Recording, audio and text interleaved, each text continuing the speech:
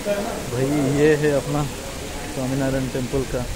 देख सकते कितना वैभव है भाई, कितना सुंदर टेंपल ये अपने शू वगैरह रखने के लिए यहाँ पे शूटिंग पॉइंट है। ये देखिए। भाई, बिल्कुल गर्मी नहीं है। ये कैसा मार्बल से बनाया बिल्कुल गर्मी नहीं है भाई। ये देखिए टेंपल हे भगवान, हे प्रभु नारायण।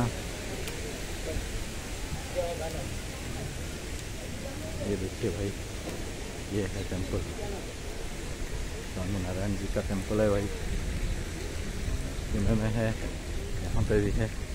ये देखिए, यहाँ पे तो बिल्कुल गर्मी नहीं है. ये देखिए, कितना सुंदर.